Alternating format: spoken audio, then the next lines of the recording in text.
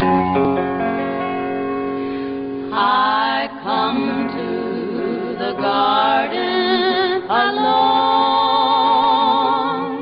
while the dew is still on the roses and the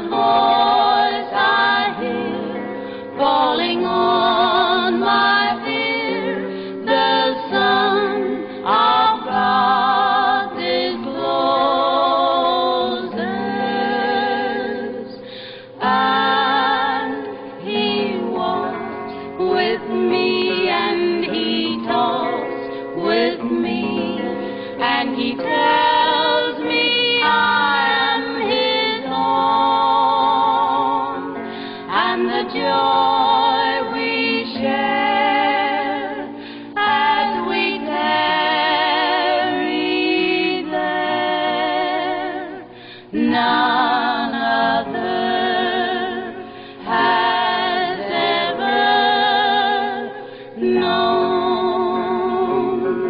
He speaks, and the sound of his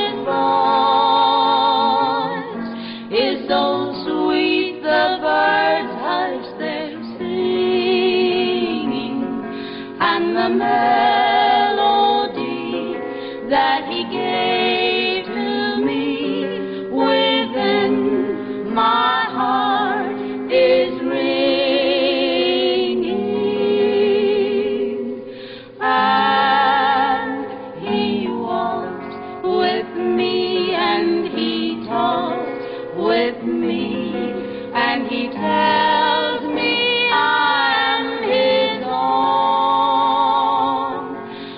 the joy.